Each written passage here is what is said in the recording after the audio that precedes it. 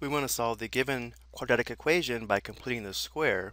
This video does assume that you're familiar with the basic steps for completing the square outlined here in these five steps, which I did cover in the mini lesson on completing the square. So if you didn't watch that video, you may want to, or at least review these five steps. Going back to our example, this is going to be a little bit more involved because notice how our leading coefficient is equal to 3. The first step here will be to move the constant term to the right side of the equation. So to undo minus 2, we'll add 2 to both sides of the equation.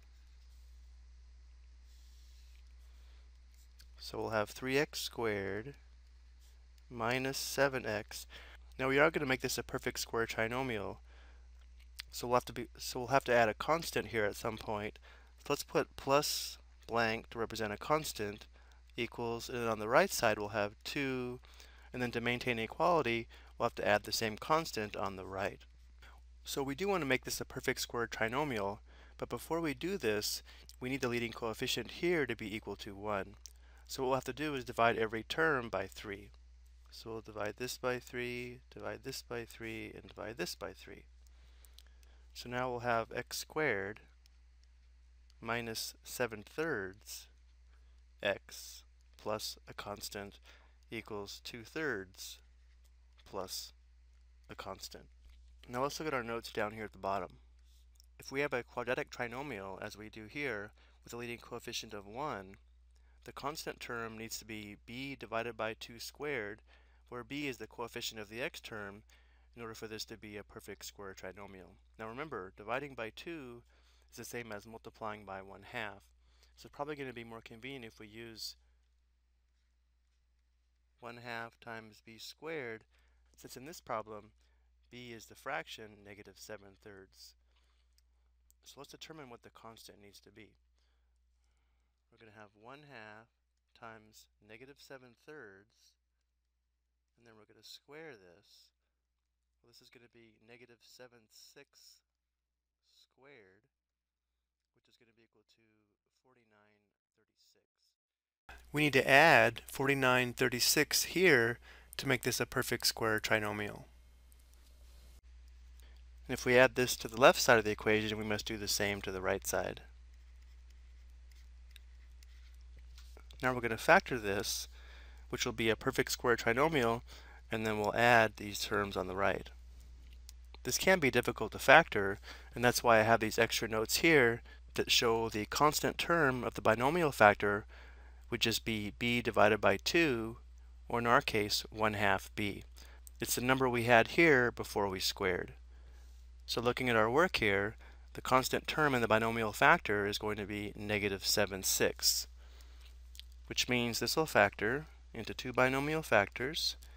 The first terms will be x and x, the factors of x squared, and then the factors of 49 36 that add to negative 7 thirds are going to be negative 7, 6 and negative 7, 6. So I'll have minus 7, 6 here and minus 7, 6 here. Now on the right, in order to add these fractions, we do have to have a common denominator, which would be 36. So we'll multiply this fraction by 12 over 12. So on the right side, we're going to have 24 36 plus 49 36. So we can write this as the quantity x minus 7 6 squared equals, this is going to be 7336. And now we can undo the squaring and solve for x by taking the square root of both sides of the equation. So we'll take the square root of the left side, the square root of the right side. Remember we do have to have a plus or minus sign here to obtain all solutions. Now on the left side we have one factor of x minus 7 6 equals plus or minus. And now to simplify this, remember when we have a fraction underneath the square root, we can square root the numerator and denominator separately. Notice how the denominator simplifies perfectly to 6, and the numerator does not simplify.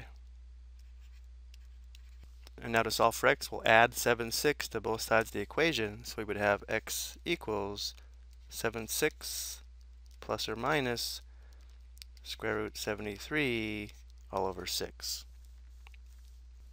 And because the square root 73, we can tell we have two real irrational solutions. Keep in mind we do have two solutions here, one where we add square root 73 over 6 and one where we subtract square root 73 over 6. And sometimes you will see this expressed as a single fraction. Since we do have a common denominator, we could write this as x equals a numerator of 7 plus or minus square root 73 all over our common denominator of 6. Either form is acceptable. Just keep in mind this does represent two solutions. Okay, I hope you found this helpful.